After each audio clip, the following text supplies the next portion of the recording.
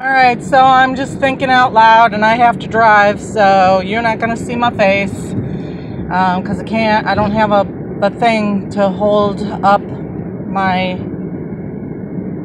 camera. So I'm thinking out loud. Here's what I'm thinking I'm thinking that there is only really one conclusion that one can draw when someone leaves a person whose only real crime was to have a panic attack. Not to attack them, not to do anything. I didn't even call him names that day. I did nothing to him. Nothing. I have done nothing to him. And yes, I have the YouTube channel. So what? It's because he wouldn't fucking talk to me.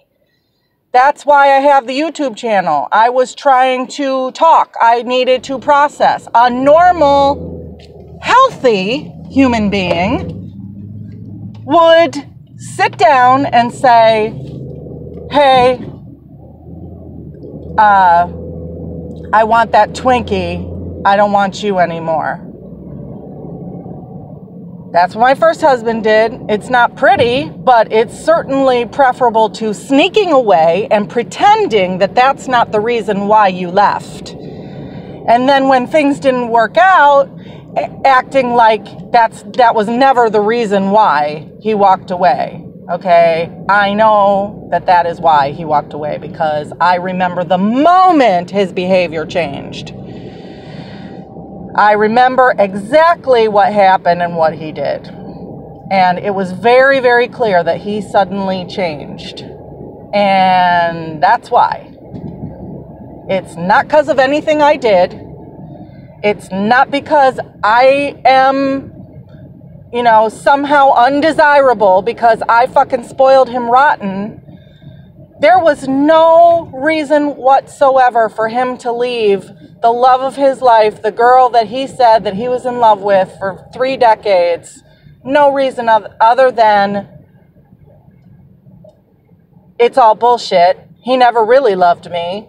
And he was he just did this whole thing to um, take revenge on me for something I did when I was 17, which is so trifling. Think about it. Think how trifling that is. To hold a grudge for three decades and then be like, be still have so much contempt for somebody three decades later that you're gonna end up getting with them and then you're gonna exact your revenge on them. I mean, no normal, healthy human being does that. Nobody does that. Only really, really sick, twisted people do that. Now, I am one of those people who has a really, really hard time believing that people, that anyone can be completely incapable of love. Because I believe that love is the natural state of things. And so somebody who's not capable of love is unnatural and creepy. And so when his own friends and family told me that he's not capable of love, I thought, wow, that's really unfortunate that, you know, all these people think such terrible things about him. It can't be true.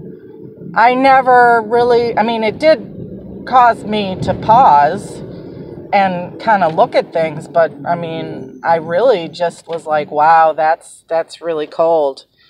But um, unfortunately, they were telling me the truth. That's really that's really the truth. The truth is that he's not capable of love. And um, there's nothing I can do about it. I can't, you know, it, this has nothing at all to do with me because if anyone in this whole wide world could have gone the distance with him, it would have been me. I tolerated everything about him, and he still ran away. I tolerated every. You can't even imagine. There's there are things I have, there are so many things. I know it's because I'm very frank and I'm very brutally honest, but I'm here to tell you there are so many things about him that I have not shared on YouTube because they are so, they would be so humiliating and embarrassing to him if I shared some of the things about him that I tolerated. Really, really humiliating things that I tolerated about him that nobody else in the world is going to tolerate for long. Maybe people will tolerate it for a little while, but eventually they're going to walk away. They're going to be like, whoa, this is too much, dude. I can't do this. I was the only person who would have stuck with him forever. I never would have left him. And so his walking away from me is actually a blessing because he was killing me. He was completely draining the life out of me. I now have to file bankruptcy because of because of him dra- I tried so hard to help him, believing in him, believing that he could he just needed a little boost to get up on his feet and then he could take over the world. That's what I believed. I believed so much in him and I trusted him. And there was no, there's only one reason why anyone would walk away from that.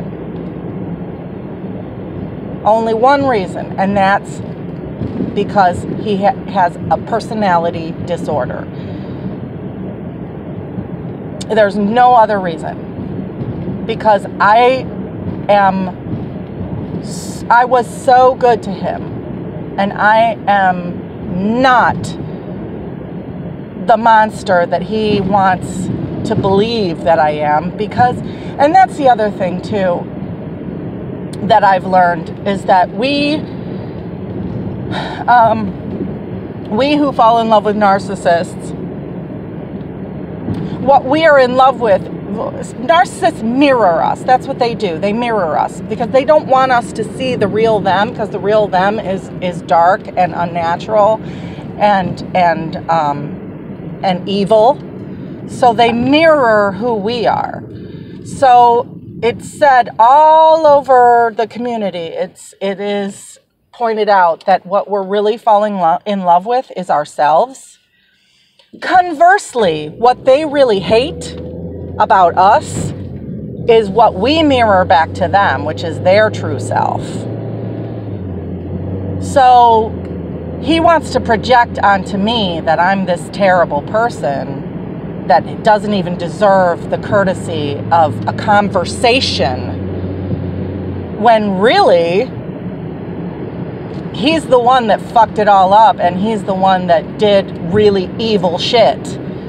And now wants to pretend that it's about me and has so much contempt for me that he won't even speak to me. And you know, that's that's what no contact is really for. No contact is not to punish the narcissist and no contact is not to, you know, make them remember you and, and come running back to you. No contact is to give you space for the illusion that these people are good people to dissipate.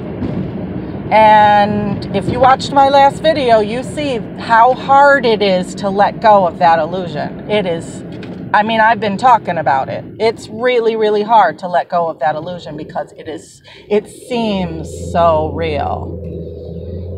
But